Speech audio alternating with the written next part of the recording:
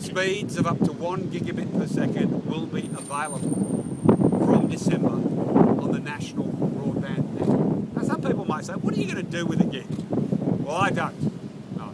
But I'm willing to bet there's a few people who live here in Gosford who've got a few bloody good ideas about what they can do with that sort of speed. Because that's what fibre optic cable is capable of. It's something that cannot be done on your ageing copper network.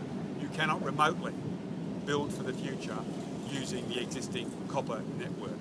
If we keep relying on the copper network, it's been in the ground for 30, 50, 70 years and more, you cannot, you cannot hold Australia back by using that sort of network. So it is a truly great day to switch on the NBN to more than 2,000 homes and businesses here in Gosford. NBN Co has commenced fibre construction to around another 17,000 homes and business in the Gosford area.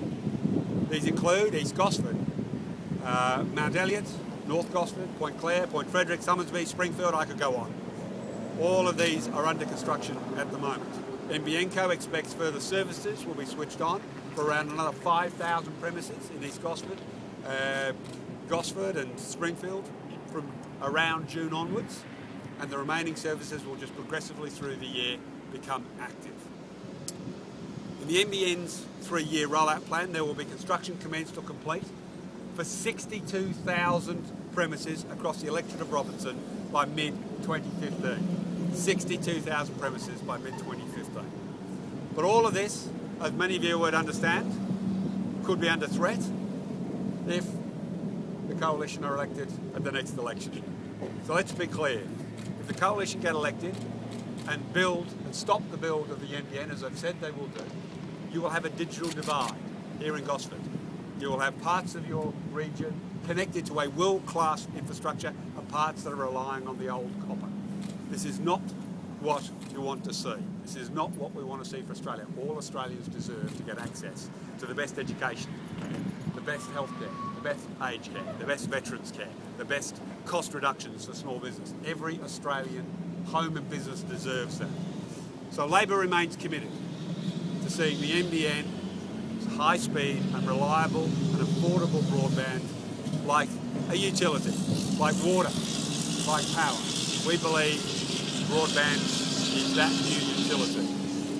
And as I said, we believe every Australian should should have access to that. Not if you can afford the up to $5,000 some are saying you need to connect to a world-class network.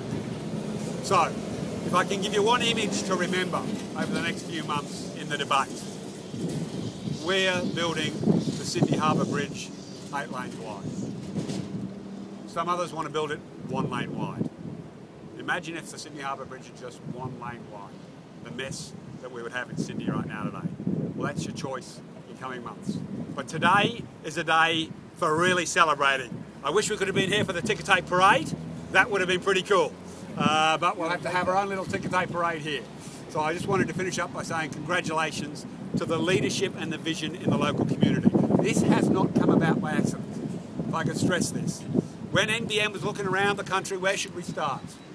The areas where we started first were where communities with vision and leadership came together and said, hey, hey, we know what we can do with the National Broadband Network. We have a vision for our residents, for our citizens. And so we're here today because of the leadership of the local council, because of the leadership of people like Dave Abrahams, and most importantly because of the leadership, harassment and stalking of your local member. It was not safe in Parliament House, I promise you, to walk the corridors without Deb grabbing me, getting in my ear and saying, you've got to come to Gosford, you've got to come to Robertson.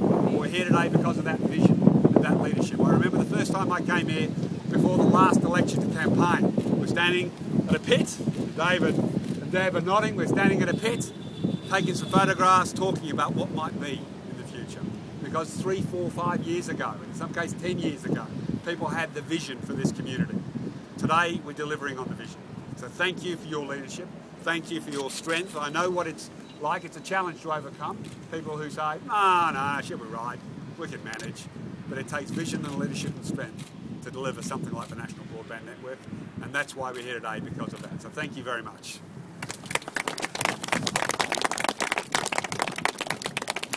Thank you, Minister. Thank you. And as, uh, as uh, the Minister alluded, nothing happens in a vacuum. And I say that to my kids too. And uh, you know, at school, and I'm very keen through Youth Connections in my past to get young people involved. And I think this will bring young people back to the community. But nothing does happen in a, in a vacuum. You do have to organise yourself. And I think our chief organiser for uh, this part of the world, we have to give acknowledge to our very, very capable uh, local member, Deb O'Neill. So, Deb. Thank you, Dave. Well, first of all, can I uh, thank you, Dave, for those kind words.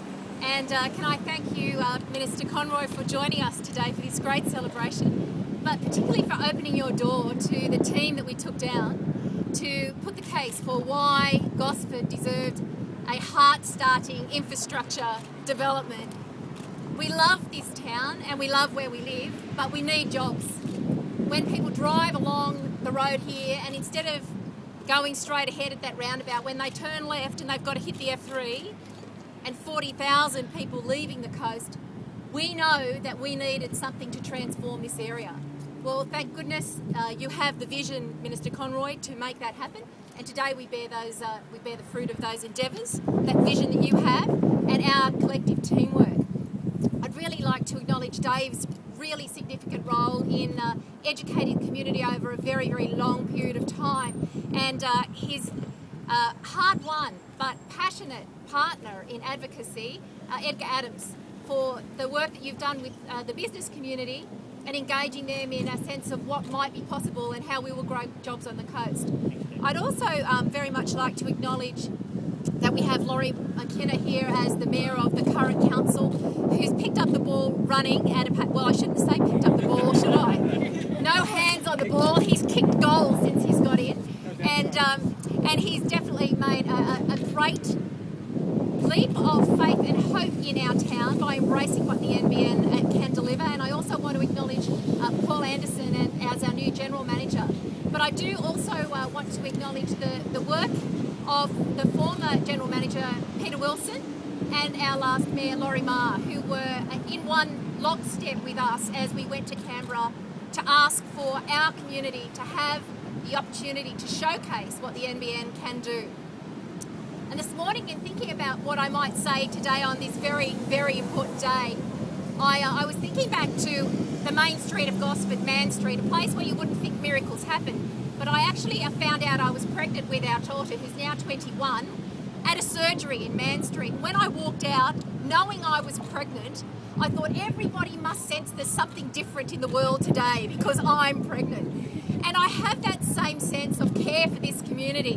We are pregnant with the NBN. In fact, we're pretty on delivery. We're delivering today 2,300 premises, businesses and residents, Australians, all of them, who this government believes have a right to access the opportunities of the 21st century. And we don't think you should have to pay to actually be able to get on the NBN and have a go in this 21st century.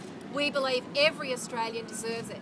And as the member for Robertson, I certainly believe that just because you're lucky enough to live in Gosford, and I'm very proud to say that, rather than Copacabana, you are guaranteed to have the NBN. In Copacabana, we want it too. There's only one way that we're going to get that, and as, that is with the continuing vision of a Labor government. But today is about celebrating our success and making sure that we acknowledge that Gosford is well and truly open for business. We have uh, places to let at $200 a square metre instead of 300, uh, 3 4 5 $600 a square metre for places with which we compete at the end of the freeway. So it's time to come to Gosford to do business. I'm mindful uh, that the president of the Erina Chamber of Commerce might be not so happy that Gosford is getting so much ahead of Erina. But uh, I do want to make an announcement today on the back of uh, excellent lobbying by the Erina Chamber of Commerce in support of a door knocking campaign that uh, I've undertaken with volunteers through Erina and Greenpoint. Uh, we have had fantastic community support to put a business case to NBN to ensure that the Erina area gets a rollout as quickly as possible. And today I'm pleased to announce, and you can go to the NBN website and see, that uh, commencing from February 2014, the suburbs of Erina, Erina Heights, Greenpoint Holgate, Matcham, and Springfield will be getting the national broadband network, and that's because we play teamwork here on the coast and we work together to advance our local community. So, yes, it's worth a round of applause. It's a great initiative. So, uh, without further ado, uh, I think that I'm going to hand over to that great Aussie with a great Aussie voice. I think uh, uh Lawrie McKinna, our new mayor, who uh, will be the mayor as we turn this on and step right into new possibilities for business in Gosford. I really appreciate you all being here today. I'm so proud of the work that my staff have done behind the scenes to pull this uh, whole journey to today together. There's so many uh, parts that are done in the quietness of a, uh, an office just there in Mann Street to make this vision for our community possible. And I acknowledge all of your efforts, very much of it unpaid, and very much of it keeping hope when others would have us fear the future. So, to more hope, to more building, to more Gosford Gigabyte City. I'm with you. Thank you. I can't pass over the chance to introduce him because uh, he doesn't need any introduction here.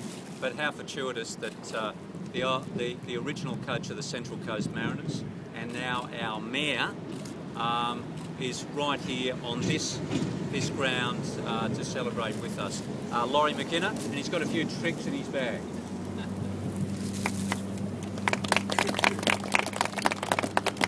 before the official stuff, I'd just like Dave come back up here. As Stephen, or Minister Conroy, is a big number. He's a big. Um, get up here. As a big Melbourne Heart fan and a football and a sports fan, I think it's only proper that we present him with his own Mariners shirt. See me win the grand final at the weekend. They've been threatening for a while. And maybe one day Melbourne Heart can be there as well. Now I'll accept a Melbourne Heart shirt off you.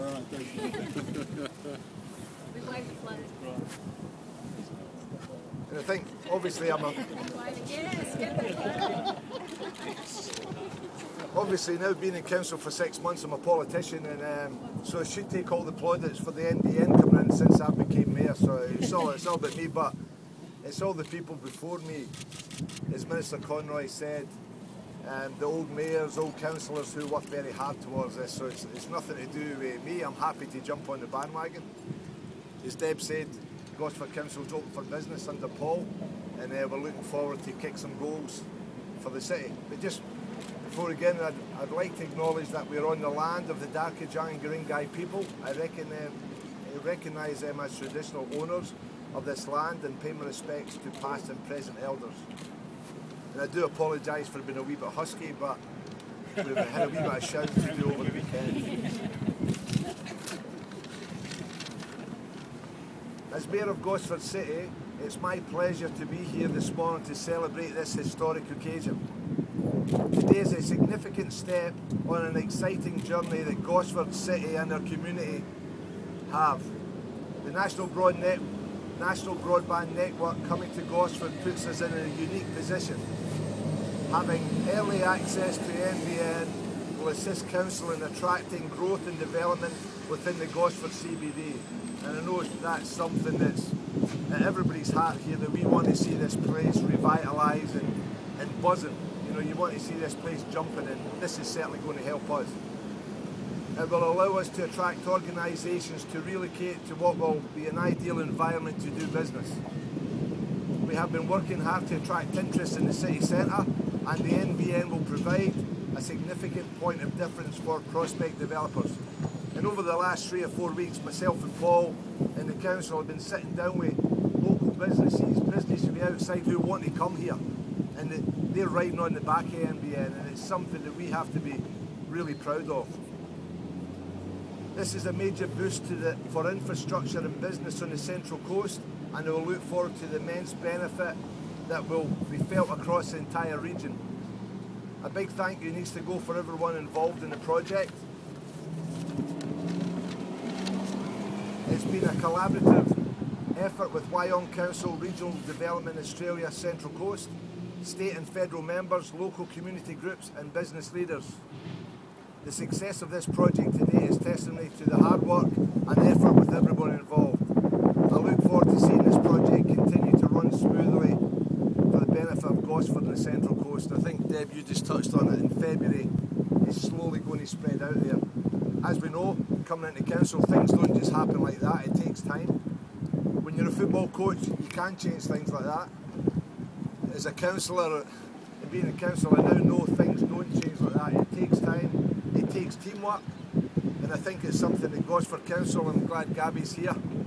Um, she's a bit host as well for the football at the weekend, but it's something that goes for Council, working in with, with Deb, we have to work together to achieve anything. If we do things individually, we'll not achieve anything on the Central Coast. That's why on Gosford, and it's just great that I think we've got the sense things can happen here, and hopefully the manner success can show people that the Central Coast can be proud in Gosford and Wyong that we do live here because it's something that I'm proud of, and I'm sure everybody here is. So I look forward to doing as much as I can to support this.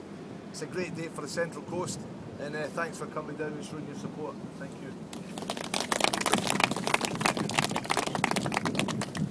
Well, I think we're actually going to do the uh, the important symbolism now.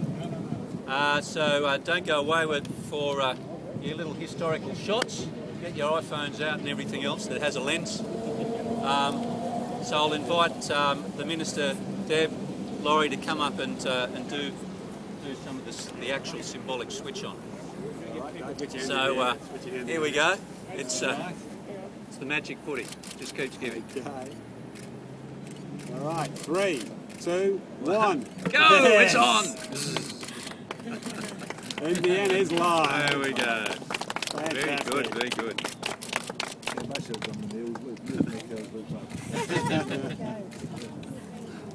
If only I had picked up Noah's skateboard ramp on the weekend, they'd be in better shape.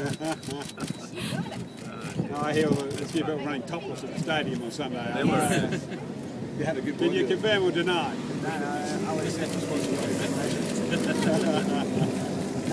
It's all over the world now. But how good It's are gone viral. It has. good were the Wanderers fans? Oh, they were They were. wonderful. It's just an incredible atmosphere. It's a set apart. They have. Fantastic. Yeah. Okay, we're here on the waterfront for the NBN switch on, and um, I've got Lawrie McKinna, the Mayor of uh, Gosford City. Lawrie, big day for the city. Yeah, no, it's a great day for um, for everybody on the coast. You know, NBN coming to town is is going to just change the way thing, the way business can be done on the coast. Save as many people travelling up and down to Sydney, can work from home, work from um, offices set up in the city centre. So it's going to be great, and it puts us up up the top with a lot of other places who are getting it. You know, it's not we're not thought of as, as last off the rank as usual. So uh, it, it's making a bit of a statement about the Central Coast. And uh, another beautiful day. The sun's shining a bit brighter this week, do you think?